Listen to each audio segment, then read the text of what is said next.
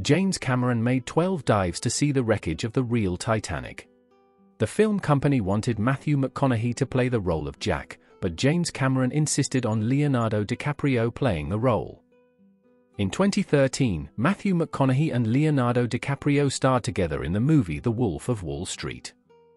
Apart from Kate Winslet, Nicole Kidman, Madonna, Jodie Foster, Cameron Diaz, and Sharon Stone were among the other names considered for the role of Rose.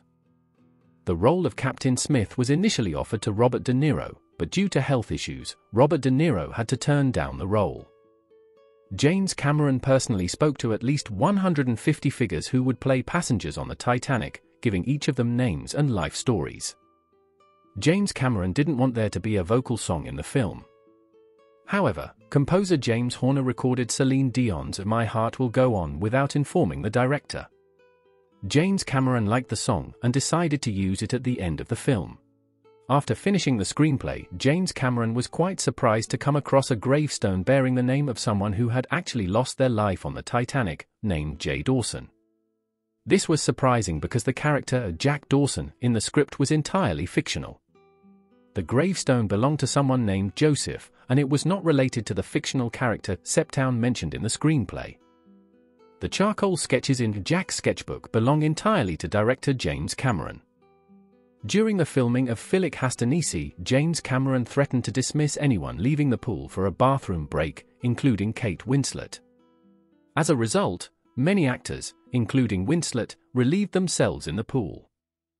The elderly couple, owners of the Storff Macy's in New York, were allowed onto the lifeboat because the woman, Isidor Straus, was pregnant.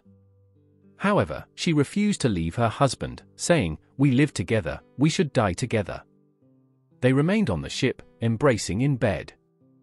The scene where Jack spreads his arms and shouts, I'm the king of the world towards the ocean was entirely improvised. Although not in the script, Leonardo DiCaprio delivered this memorable line, making it one of the most iconic quotes in the film.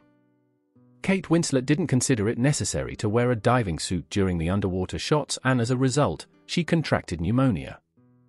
The musicians continuing to play as the ship sank wasn't a scene created for dramatic effect in the screenplay, it actually happened.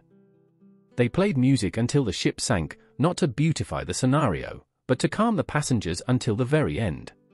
The scene set in 1912 in the film, which has a total length of 3 hours and 14 minutes, have been adjusted to last for 2 hours and 40 minutes. This duration mirrors the actual sinking time of the Titanic after it struck the iceberg. Additionally, since the real collision with the iceberg lasted for 37 seconds, this scene in the film is also depicted to last for 1 second. Gloria Stuart, who portrayed the elderly Rose, was 86 years old at the time of filming, and makeup was applied to make her appear to be 100 years old.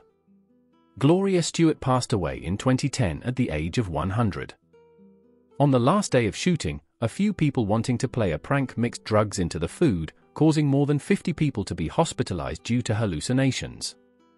The scene of flooding the Grand Ballroom was shot in one take because it was anticipated that it would cause irreversible damage to the STV furniture. The film was shown in cinemas so extensively that over time the film reels suffered damage. As a result, the distributing company, Paramount, had to send replacements for the damaged copies. Titanic is the first film where two actors playing the same character were nominated for Oscars. Kate Winslet was nominated for Best Actress for her role, while Gloria Stuart was nominated for Best Supporting Actress for her portrayal of the elderly version of the character.